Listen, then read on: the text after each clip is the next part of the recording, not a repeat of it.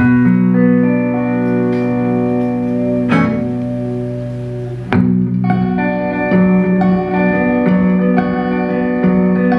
oui, c'est Fillon qui arrive en tête.